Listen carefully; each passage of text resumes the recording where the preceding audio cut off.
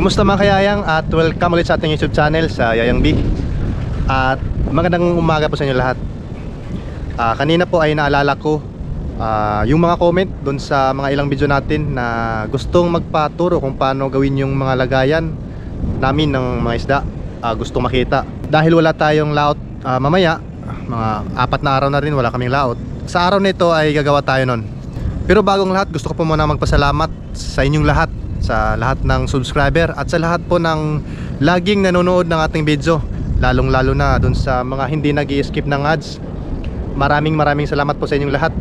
Wala po ako dito kung wala kayo. At sana po ay patuloy nyo pa rin akong ah, suportahan hanggang sa kung ano man yung magawa natin. Maraming salamat po. Kayang ito po yung mga lagayan namin ng isda. Ito yung sa lahat ng video natin ito yung ginamit ko ito akin din ito pero hindi ko pa ito na ipakita sa inyo. Hindi ko pa ito nagamit sa mga video na nagawa ko. At ito naman ito namang dalawa na to ay hiniram ko talaga ito.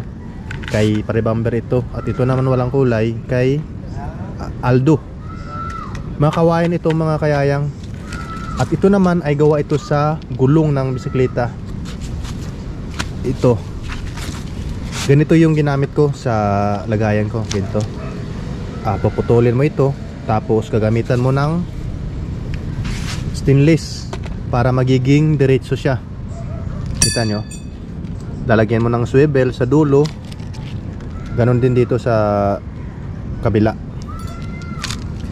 At ito naman mga kayayang ay gawa din ito sa gulong ng bisikleta. At yung gulong naman na yun ay ito ah, kailangan mo lang dito gawin ay hatiin tapos pagdikitin mo yung para magiging bilog siya bago mo gamitan sa gitna ng stainless. So yun lang yung dalawa na to. At ito naman ay gawa sa kawayan. Kung kaya mo pinturahan pinturahan mo. Pag wala ka ng pintura ayos lang naman kahit walang pintura. Ganito yung magiging tsura niya. So kanina kasi naisip ko na baka mahirapan kayo kung ah, kung gagawa kayo ng lagayan na gamit yung mga gulong yung iba nga walang mahirapan kasi walang wala naman silang ganon suggest ko talaga sa inyo na gumawa lang muna ng kawayan. Guys nandito na ako sa may kawayanan. Yung kailangan natin ay kailangan tuyo na. Wag yung wag yung bagong putol no? So ito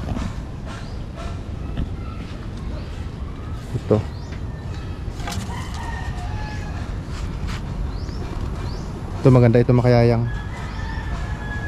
Tuyo na siya. Ito yung gagamitin natin. So yung ngalawang kailangan natin ay kahoy na 2x2 kailangan lawan lang. Yung guys may nakita akong kahoy pero hindi 2x2 ito ay tinatawag dito na albisya pero pwede na ito. Lagay natin sa pinakadulo dun sa may swivel lagayan ng tan ah, lubid. Ito paputulin lang natin to dito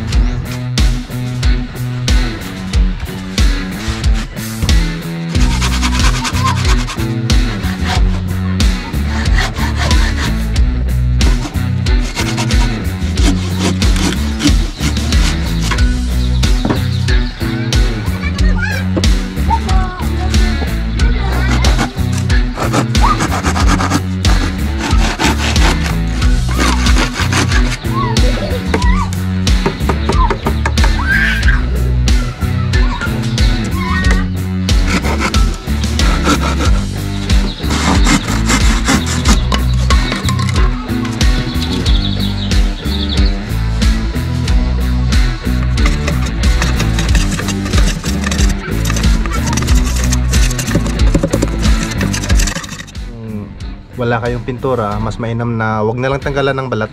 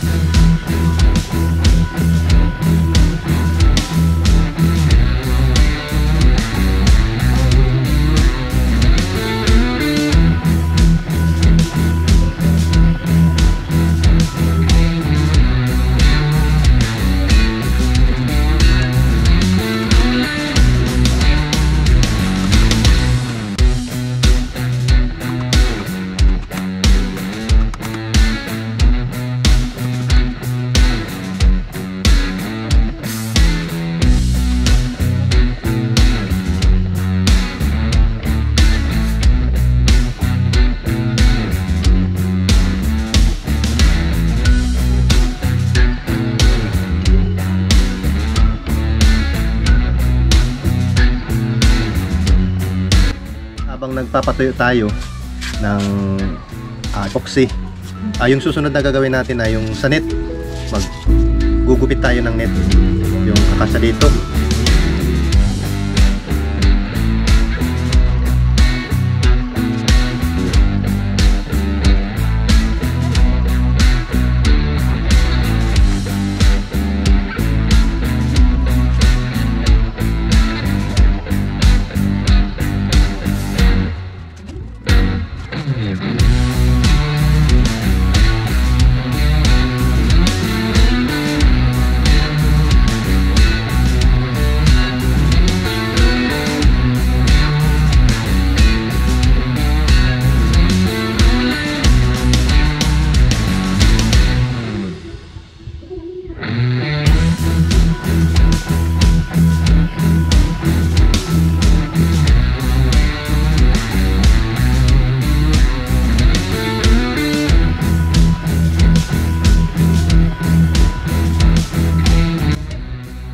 So yun na yung epoxy mga kayayang.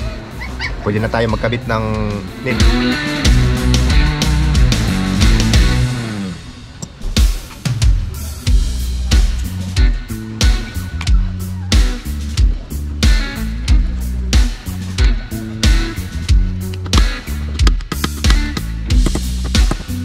Dapat nakatapat yung butas natin dito.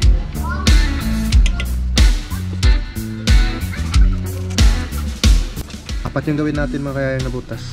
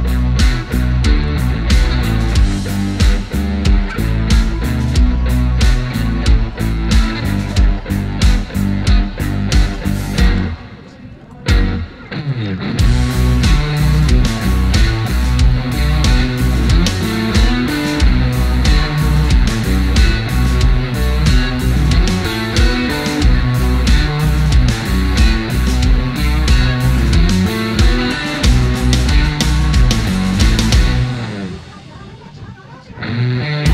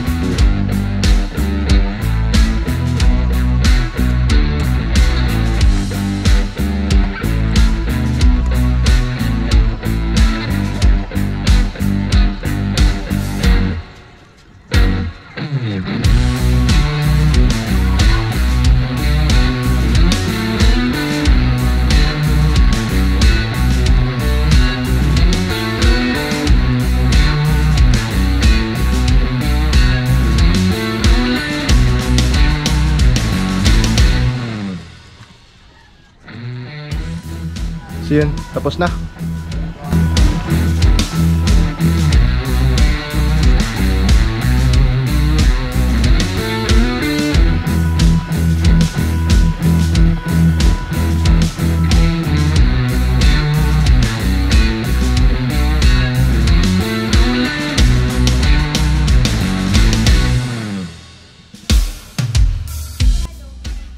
Dito yung lagayan mga kayayang. Tapos, dito yung exit.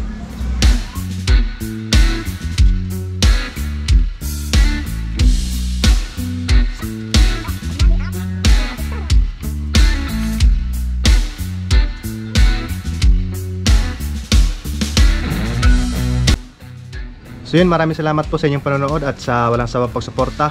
Sana po ay may natutunan kayo sa ating tutorial. At kung bago ka pa lang ay huwag kalimutan mag-subscribe at pakihit na rin po ang notification bell para lagi kang updated sa aming mga ginagawa kagaya nito. God bless and see you on my next video.